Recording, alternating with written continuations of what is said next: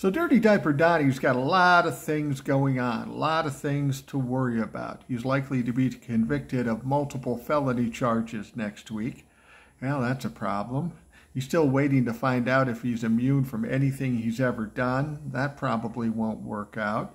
Oh, and he's campaigning for the presidency, but he doesn't have any money, so fuck.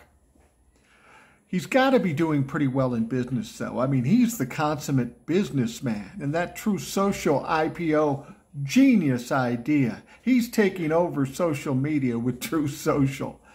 They went public, and he says they're worth like $6 billion. Imagine.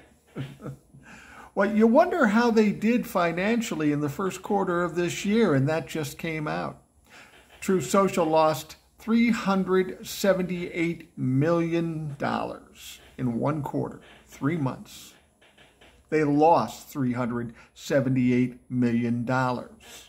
How are they doing? Well, they suck shit. They've always sucked shit. This has been a big game. The SEC's got to be looking into this. You put this out there, say it's worth $6 billion, start collecting money, start telling people it's a great deal, and then you go and lose $378 million? This just proves my point. Everything Donald Trump does, he fails. Donald Trump is a loser. And now next week, he's going to get convicted of felonies. So it's just natural that's the way it's going to go because that's the way it always happened for Donald Trump. He's going to lose.